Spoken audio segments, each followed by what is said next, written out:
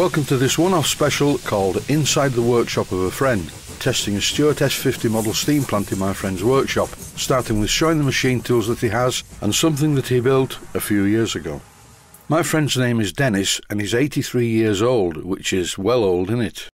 Dennis lives in the same village as I do and his house is just down the road from me and his house has an attached garage which he uses as a workshop and in the centre of the workshop is a really nice old Smart and Brown lathe. This is very similar to the Smart and Brown lathe that I have, just a bit smaller.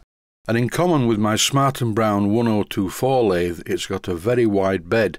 This type of lathe is called a tool room lathe, and they are very accurate and very strong. Dennis doesn't have quite as much space as I do in my workshop. Here's another shot of the lathe. You can see where it sits in the middle of the workshop area. The workshop has everything that you would need, including a drilling machine as shown here, that sits on one of the side benches. And at the left hand side is a milling machine. This is a small Chester milling machine, which is a perfect size for a small workshop area. Dennis also has one of these. This is the Warco version of the one that I bought. This is a 3 in 1 machine. It's a set of bending rollers with a sheet metal bending arrangement in the centre and a guillotine at the bottom. I have the Clarke version of this machine and it's very similar, but the rollers are better on this one. They have grooves in them at each end. Last but not least, a really well used vice on the bench. Dennis was telling me that he actually likes filing. I don't particularly like filing because it takes too long, but I recommend doing it. It's a skill well worth learning. In the garage workshop is something that Dennis built quite a few years ago. It's a three-wheeler car. I don't mean a Reliant Robin. This was a kit car Dennis welded up the chassis, and the running parts are all from a Citroën 2CV. You can hear this buzzing up and down the village on nice warm summer days, because it makes a very unusual, distinctive sound. In the front it has a V-twin motorcycle engine, a Moto Guzzi motorcycle engine to be exact. This engine drives the front wheels of the car, so there's plenty of grip, and the rear wheel just dangles there to hold the back of the car off the ground. And unlike three wheeler cars with a single wheel at the front, this one does not turn over when it goes round corners. My reason for visiting Dennis in his workshop is to test run this small steam plant that I gave him. It's a Stuart S50 steam engine and a Stuart 500 boiler. This engine and boiler came from a customer in America who sent me a lot of parts from his workshop, and this boiler was badly crushed at one end and in a previous video I showed how I removed the bad dent at one end of it by first of all annealing the boiler, heating it up, and then forcing the dent out using hydraulic pressure. If you haven't seen the video when I show this operation, it's worth looking at. First of all, I would like to introduce you briefly to Dennis. We're going to run this for the first time. My name's Dennis and I've got my friend Keith here. So the first thing to do is to undo the safety valve.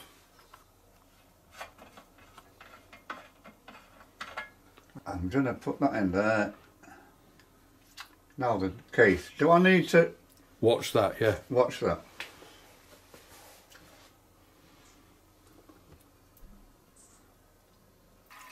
There, it's just starting to show in the sight glass, look. How far, Keith, about there? No, a bit more. This boiler isn't fitted with a hand pump. I think this is an old 500 boiler because it isn't fitted with a bush to take a check valve. I fitted a steam grade silicone O-ring to the safety valve so you just screw it in by hand. I bought the gas burner system from Forest Classics and Dennis made all the fittings for it. I also bought a gas canister adapter and here Dennis is screwing the canister onto the valve. The engine behind the valve is an old Stuart Double Ten that I also gave to Dennis and he just tinkers about with it from time to time. Dennis had even made a wooden holder to support the gas tank so it didn't fall over. The gas is lit, and then all of a sudden Dennis slumped forward onto the bench. At first I thought he'd died, but no, he was just checking whether the gas burner was lit, and in no time at all he started to move again, so everything was okay. At the time I pointed this out to Dennis and he found it quite amusing. My friend Dennis slumped forward onto the desk. the funeral's a week on Friday. Yeah, yeah. Yeah, lovely blue flame there. Great, as long as it's blue. I asked Dennis if he had any old rags kicking about, but all we could find was this old pair of pyjamas. Oh, ow, ow, ow. And even with a cloth that size, Dennis still managed to burn his fingers. The chimney, of course, was very hot. I thought I would explain why. The reason that's hot is because the heat of the burner is going up the chimney. But eventually, when we get steam up, the first steam that goes to the, the cylinder is going to condense into water and it's going to come up there like a fountain. I spent a bit of time explaining obvious things to Dennis, and in the meantime, he was using an oil can to lubricate all the moving parts. I noticed that the oil was a little bit on the thin side, but it will be okay for this test. This small 500 boiler, fitted with a small gas burner, is very efficient. The water boiled quickly. In this clip, Dennis is opening the steam valve for the first time and the engine starts to move. That's encouraging. Rotate the flywheel. As you can clearly see, as the system is not fitted with a condenser, the initial condensate goes up the chimney. You see what I mean? Okay, put the chimney back in. But after a while, it stops and steam starts to come out of the pipe. By the sound of the engine, I can tell that the lubricating oil is a bit on the thin side because it is rattling a bit.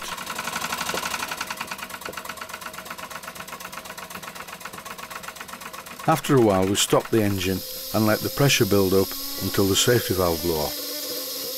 Right, so turn your gas down a little bit, turn your fire down. And as you've just heard, I advised Dennis to turn down the gas pressure.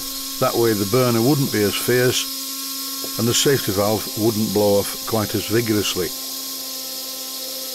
Can you see it alright? The both learned about that big now. That's fine. Right.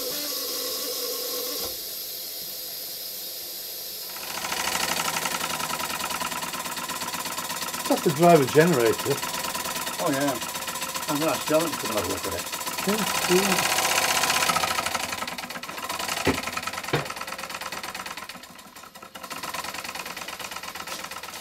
Dennis's wife Janet popped into the workshop to see what we were doing, and she said, Well, where's the steam?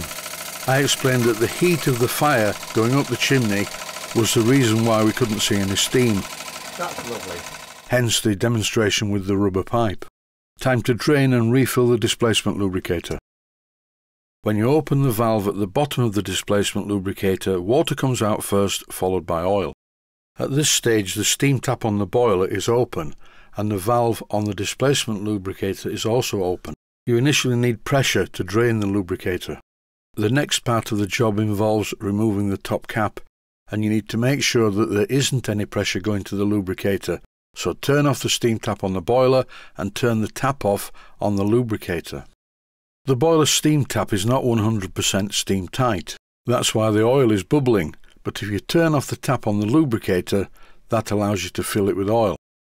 For the displacement lubricator, this is not lubricating oil, it is steam cylinder oil and it's a lot thicker. After refitting the top cap and cleaning the area using Dennis's pyjamas, we're ready to go again.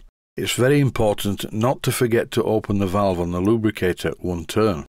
And that's it from me, apart from my voice possibly on the video, I'm not going to do any more narration. I would like to wish all of my viewers a very happy holiday and a healthy, happy new year. Thanks for watching and I hope you found it useful.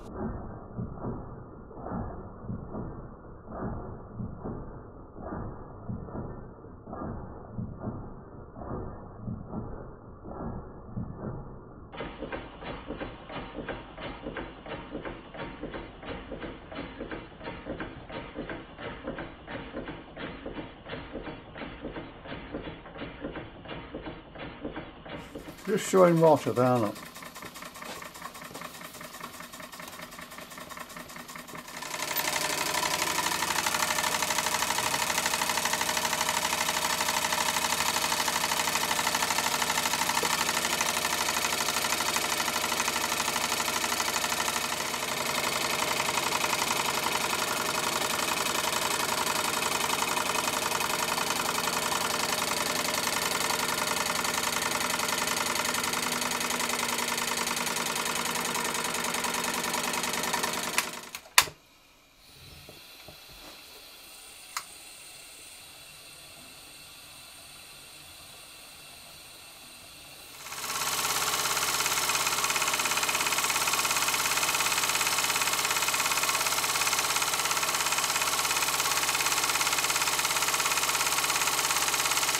What's the water level like? It's just about, it's nearly at the bottom, Peter. It's there, look. Okay, let- let's turn this off then, turn the valve off.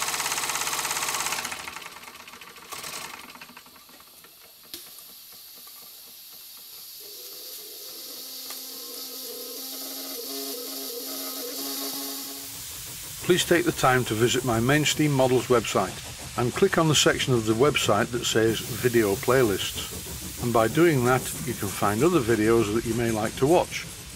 And by using the playlists, you can actually watch the videos back to back.